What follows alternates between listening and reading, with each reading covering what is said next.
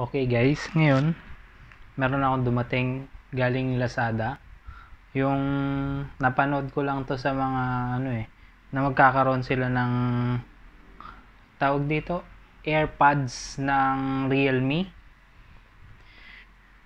Bali naka-discount ako ng 1,000 pesos. Tapos kaya ko siya binili, may free wireless charging na rin siya. Tinakpan ko lang yung mga ano ko, tawag dito yung mga information ko. Karating lang niya sa akin. So, buksan natin at testingin natin live, walang hindi live na pati. Ah, walang cut. Hindi ako marunong mag-edit eh. So, buksan natin siya. Tingnan natin kung anong laman. Okay na rin siya. Kasi napanood ko sa ano, ang ganda nung ano niya eh. Review niya. So, tingnan natin yung dumating galing Lazada. So, meron tayong ito. Yung AirPod, AirPods. Real, ah, ewan ko ang tawag dito. Buds Air. Realme Buds Air. Tapos, ito yung wireless charging natin. Fast charging. Bali, pwede rin pala sa cellphone. Hindi lang siya exclusive. Yun lang yung laman niya. Hindi, hindi siya exclusive dun sa ano lang, cellphone lang. Pasensyaan nyo na ako ah. Hindi ako eksperto sa pag re-review. Hindi rin ako nagre-review ng mga ganitong klase. Gusto ko lang pakita kung ano yung maka... Kung sakaling bibili kayo, first 100 lang to eh. Kung ano yung makukuha ninyo. Ay, ang ganda niya oh. USB Type-C. May USB Type-C cable na siya. Kasama yan. Tapos, ito yung wireless charging niya. Ang ganda niya. Fast wireless charger. O, di ba sulit na? Tapos, manual. Bale, yan. Tapos, yung air dots. Tanggalin na natin sa plastic. Okay. Chilyo. Ayun. Ito yung laman niya. Sa likod niya, meron siya nakalagay na nababasa kaya. Focus natin. Ayun. Yan yung mga nakalagay. Real wireless tech super low latency wireless charging support. Ayun, kagaya nga nung ano. Refill put and refill. Open up auto connection Google Fast Pair. Okay? Wear detection autoplay pause. Ayun, basta ganun na siya. Meron siyang dual mic noise cancelling. Okay, yung remarks niya, super low latency only in gaming mode. The playback result come from Realme lab test with volume up 50% uh, was basog na natin basahin. Hindi ko nga pala siya tetestingin ng Realme. Ang gagamitin natin yung tablet ko. Kung ano yung meron ako. Wala kasi akong ano eh. Wala akong Realme product. Ito pa lang yung first Realme product ko. Bale dito, ito may plastic siya. Tanggalin natin. Okay. Tapos ano pa yung nandito sa loob niya. Check natin ayaw mabuksan kamasira ayun. Another USB type C. Tapos yun lang. Instruction tingnan natin basahin yung ano instruction. Ngayon try na natin to. Open natin yung bluetooth. Saglit lang. Open natin sa settings i-low natin yung ano natin. Para makita nyo. Turn on.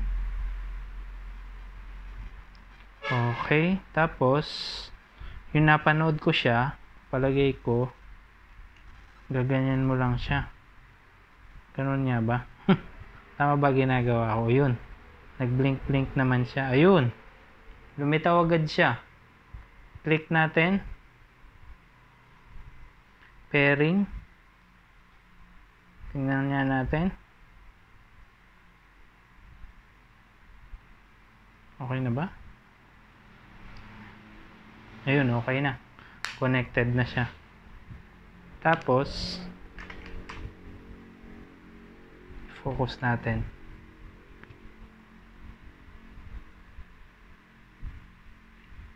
Saglit lang ah.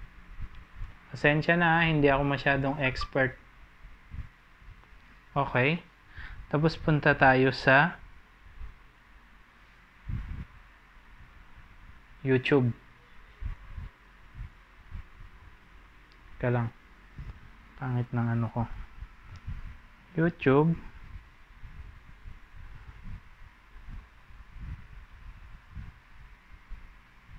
Okay. Click natin to. So if you buy a fitness tracker, there's probably one big reason Oh. why you do that. It's because Bakit hindi? Ayun. Pag kinuha ko siya, magko-connect na siya. Tapos siguro kailangan, sabi, nakalagay sa tenga, nagpo-post siya. Ilagay niya natin sa tenga natin. Ayun. Sa nakita nyo, naglagay siya. Nung nilagay ko siya sa tenga ko, tapos tanggalin ko yung isa ko, ito yung kamay ko. Ayan. Pag binalik ko sa tenga ko, bakit ganun? Di ata ako marunong. Sabi, tap. Ayun. Pag tinap mo siya, pag tinap mo yung earphone, nagpo-pause siya. Tapos tatanggalin ko ah. Hmm. Oh, 'di ba? Pabalik ko. Oh, 'di ba? Ang galing. Tapos try nating ibalik dito sa case.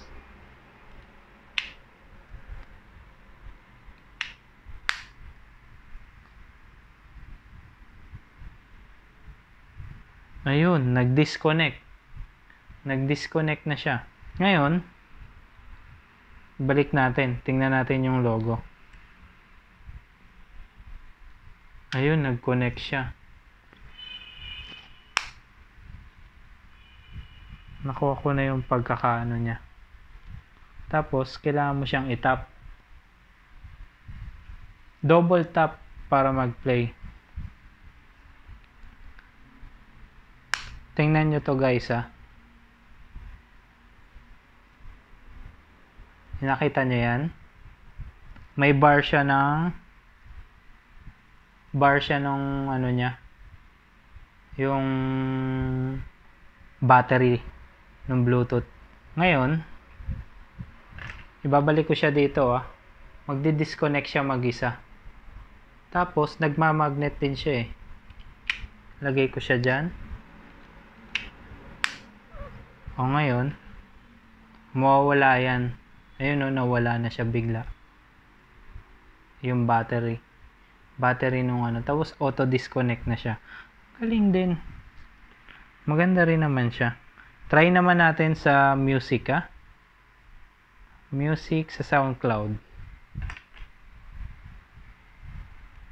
O yan babalik natin siya. Nagmagnet siya mag-isa guys oh. Ang galing din. Okay din naman pala to. Tapos, okay, play ako ng isang kanta.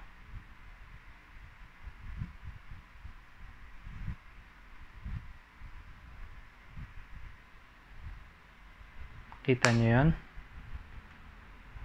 Tingnan nyo. Tap ko siya ng dalawa. O, nag-pause. Tap natin siya ulit ng dalawa. Bakit ganun ayaw? Ayun. Tap natin siya ng tatlo. 1, 2, 3. Nge, bakit ganun? Hindi pala siya masyadong accurate. Tap natin ng dalawa. Tap natin ng tatlo. Ayun. 1, 2, 3.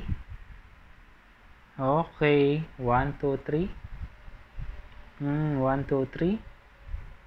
Pasensya na guys ah hindi ko mapakita na tinatap ko siya.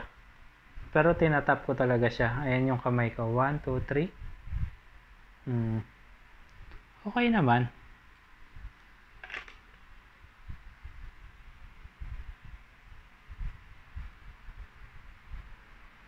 Anyway, ang ganda rin ng ano na to. Sulit siya.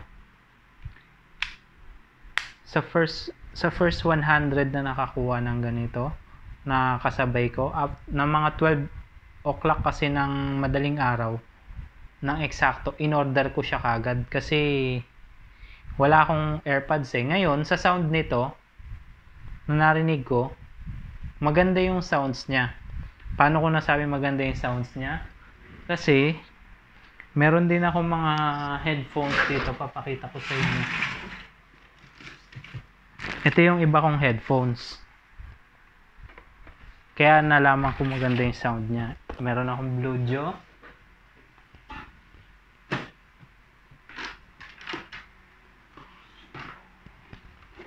itong Bose. Tapos itong Sennheiser tapos itong pang gaming ko.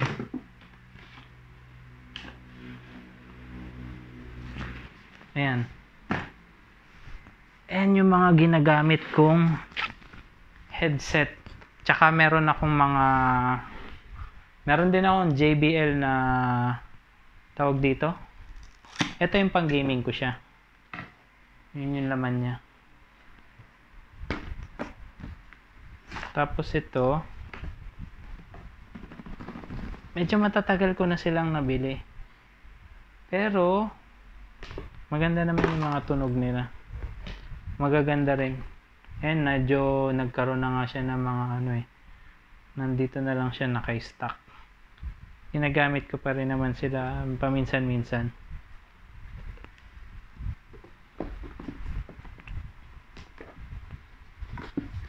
Magaganda yung tunog nila. Kaya hindi naman ako masyadong ma, ma hindi ko kayang anuhin yung maganda ba yung bass, yung mga ano. Basta para sa akin, pag maganda yung tunog niya. Ito, Bluetooth, Bluetooth siya, tapos USB Type-C din siya. Pero, hindi ito yung re-review ko. Na-review ko na to eh. Hindi pala siya review kung ano yung masasabi ko sa nasabi ko sa headset na to. Hindi naman ako expert na audiophile. Pero, marunong ako mag-appreciate ng magandang tunog. At masasabi ko, yung itong air, air dots, air, air dots, uh, Realme earbuds, maganda naman yung tunog niya para sa earbuds. Tapos wireless pa. Malamang ito na yung gamitin ko palagi. Kasi itong mga to medyo hassle silang gamitin eh. Umiinit sila sa tenga. Although maganda yung mga sounds nila. Pero okay din to. Ang dali niya, hindi hassle free din siya sa pagko-connect. Nasabi ko okay siya. Sulit siya sa uh, halagang 3,000. Pero eh, tapos meron pang wireless charging ha. Para sa akin okay na okay siya. Kaya kung may budget kayo, naghahanap kayo ng sulit na wireless na headset, okay siya. Mare-recommend ko siya. May wireless charging pa. Kaya lang, exclusive lang yata sa first 100 yun eh. Ako talagang green up ko yung pagkakataon na makuha siya. Kasi okay din eh. Kasi yung sa yung Apple na ano ko, headset ko, kita na yung mga wire. Kailangan ko ng bagong ano bagong headset pagka nakahiga ako. Kaya ito sulit na sulit siya. Malamang ito na yung gamitin ko palagi. So masyado na mahaba yung video ko. Basta sasabi ko sa inyo sulit pala siya. Maganda siya ang ganda rin ng tunog niya. Hindi ko masyado na uh, hindi ko siya matagal na pinakinggan pero alam ko kagad na maganda yung tunog niya. Sulit to guys. Hindi ito sponsor. Walang nag sponsor sa akin. Pe, pa, sarili kong pera yung pinambili ko dito. Bali yun lang guys.